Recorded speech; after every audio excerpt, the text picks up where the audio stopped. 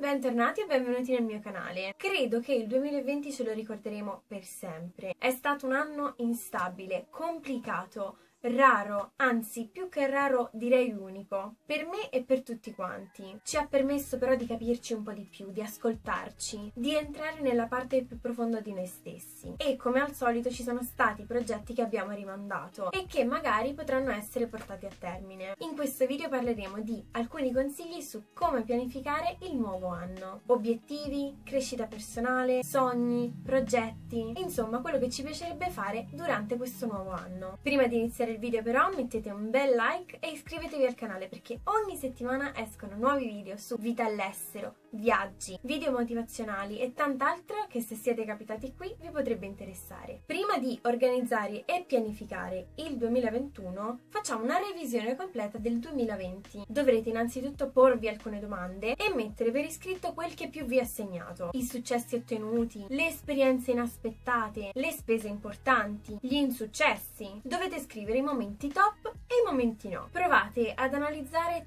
tutte quelle sensazioni, a ricordare quei momenti, a quello che sentivate e scrivete poi ciò che avete imparato da essi. Mettete tutto per iscritto. I momenti no ci aiutano a capire cosa vogliamo e non vogliamo dalla vita. Metterlo per iscritto è un aiuto per capire meglio e sintetizzare il tutto e soprattutto da questi momenti bui possiamo migliorarci. Quindi quando abbiamo fatto un riassunto, un riepilogo del 2020, dobbiamo poi scegliere i nostri obiettivi, i nostri progetti. Quest'anno per Natale ho ricevuto ricevuto anche un'agenda, eccola, bellissima che adoro, e ho deciso di appuntarci tutto quello che vorrò fare nel 2021, i miei progressi personali, la mia crescita, come valvola di sfogo, perché no, anche un diario personale. Questa agenda avrà tantissime funzioni per me e sarà fondamentale per il 2021. Ho iniziato a scriverlo ieri e uh, mi trovo già molto bene. Scrivere mi ha sempre aiutato a concentrarmi, ad esprimermi e a organizzare la mia vita. Ovviamente potete utilizzare anche più di un quaderno, dipende dai vostri obiettivi e le cose che volete appuntare puntare. Iniziamo scegliendo i nostri obiettivi in base a ciò che amiamo fare, a come ci sentiamo quando facciamo determinate cose. Possiamo sperimentare e trovare ispirazione in ciò che non si è mai provato. Chi l'avrebbe mai detto che io nel 2020 iniziavo a suonare la kalimba?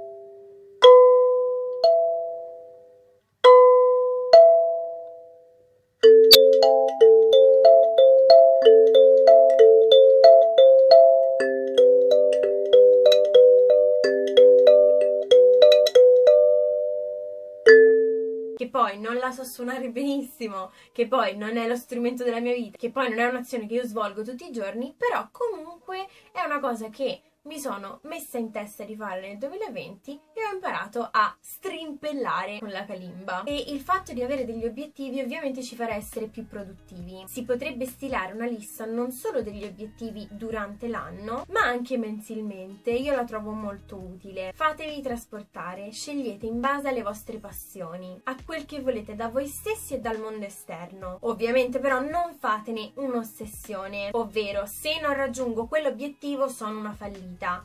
No, le nostre idee, i nostri scopi cambiano in continuazione come cambiamo noi stessi. È giusto avere dei sogni, inseguire i propri desideri, ma non facciamone una malattia. Per non procrastinare e seguire un ritmo, potremo anche mettere dei mini traguardi con dei tempi di scadenza. Per esempio, entro febbraio 2021 voglio leggere quel libro. In questo modo potrete diventare anche più responsabili. Insomma, si tratta di piccole cose che se non riuscite a fare non succede niente. Semplicemente una buona attività per voi stessi. Potete porvi qualsiasi tipo di obiettivo. Non deve per esempio per forza essere lavorativo. Potrebbe essere per voi stessi, per la vostra casa, per i vostri viaggi, per la vostra vita in generale. Ad esempio, vi leggo due dei miei obiettivi del 2021. Imparare un po' di francese. Vorrei essere un pochino più costante nello studio del francese. Voglio imparare una nuova lingua. Non è facile con tutti gli impegni, però ci voglio provare. Lasciar crescere i capelli